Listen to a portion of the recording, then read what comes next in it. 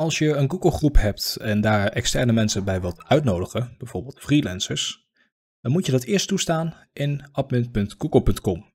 Kortom, login, klik op apps, selecteer daarna Google Workspace en kies daarna de optie Google groepen voor bedrijven.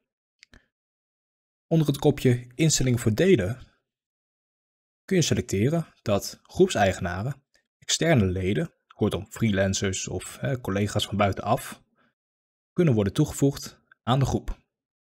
Tegelijkertijd is het handig dat je deze optie ook inschakelt, zodat die mensen ook mails kunnen ontvangen van buiten je organisatie.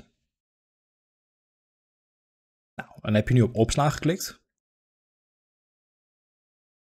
Dan is het nu tijd om binnen je groep ook nog eens de instellingen aan te passen. Want hè, één ding is dat je op organisatorisch niveau toestaat dat externe leden mogen worden toegevoegd. Maar het tweede punt is dat je groep dat ook toestaat.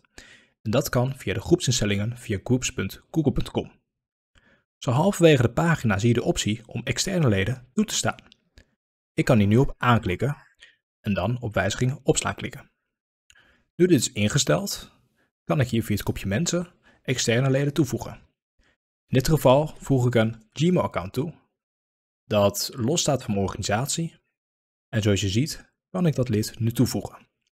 Dus in deze video heb je gezien hoe je via admin.google.com het beleid wijzigt, dus toestaat dat het überhaupt mogelijk is. En daarna op het groepniveau via groepsinstellingen toestaat dat externe leden worden uitgenodigd. Nou, daarna kun je mensen toevoegen. Zoals je hier nu ziet, is dit een extern lid en heeft hij nu toegang tot de gezamenlijke mailbox. Nou, en dat is hoe je externe leden toevoegt aan een groep. Nu is het jouw beurt om dit zelf te doen. Succes!